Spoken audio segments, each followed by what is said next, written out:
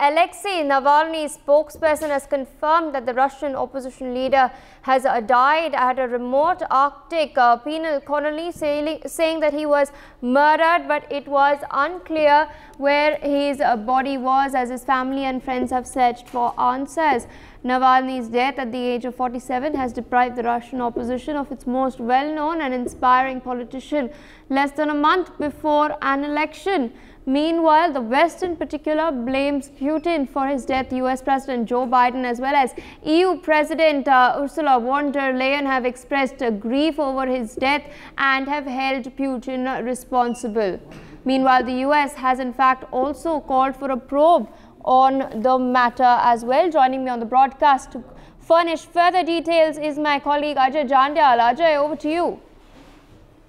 Well, uh, yes, you know, now uh, this is clear that a Navalny's uh, spokesperson demanded return of his body and uh, she accused Russian officials of lying and the body of a jailed Russian, um, you know, opposition figure Alexei Navalny.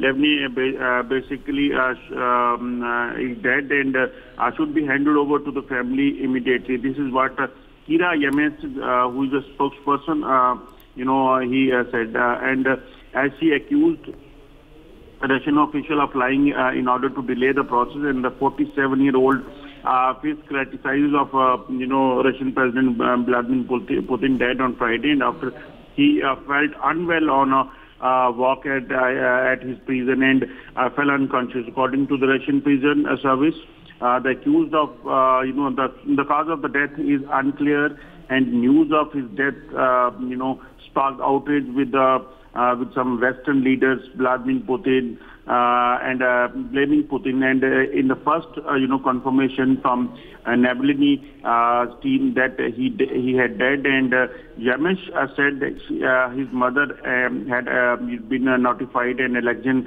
and Alexei was. Uh, murdered and this is what they are blaming for as far as the government Putin's uh, administration is concerned his death occurred on, um, you know, Friday, uh, February 16 at uh, 2.17 p.m. local time, according to local time. And uh, that is what uh, they are saying and they are blaming and uh, it is a murder, not a death only.